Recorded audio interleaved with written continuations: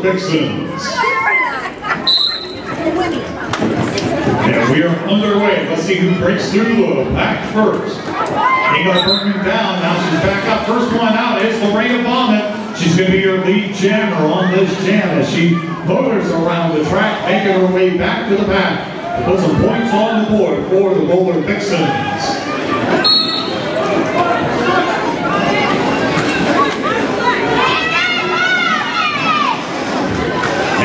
Does make her way all the way through for five points and a grand slam.